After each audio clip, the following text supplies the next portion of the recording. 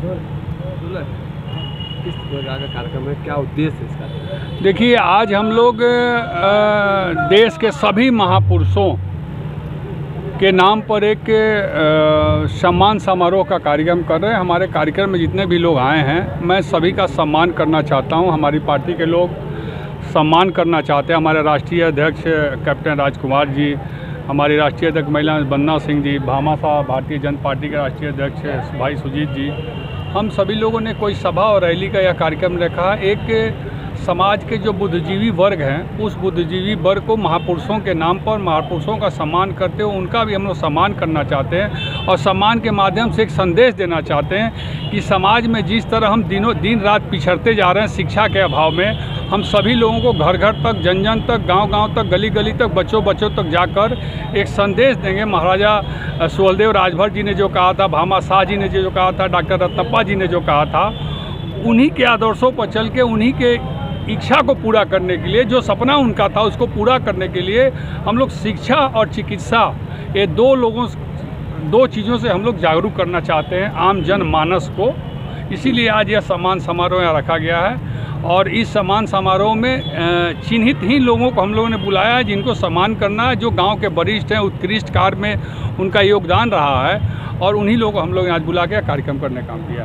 एक तरफ़ आपका कार्यक्रम चल रहा है समता पार्टी का एक तरफ़ सावधान यात्रा रैली निकल रही है बड़े पैमाने में। किस तरह से आप देखिए देखिए यह महापुरुष से सम्मान समारोह का कार्यक्रम है। मैं इसमें राजनीतिक कोई बात नहीं करना चाहता हूँ लेकिन एक बात ज़रूर करना चाहता हूँ, जिसकी बात आप कर रहे हैं सावधान यात्रा वाली।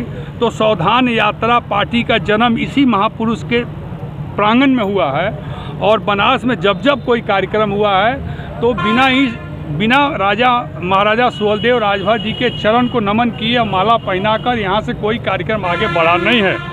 यह पहली बार है ऐसा कि अभी तक जिनके नाम पर पार्टी वो बनी है और जिनके प्रांगण में वो पार्टी बनी थी उनका सम्मान करने के लिए उस पार्टी का राष्ट्रीय अध्यक्ष यहाँ नहीं आया है।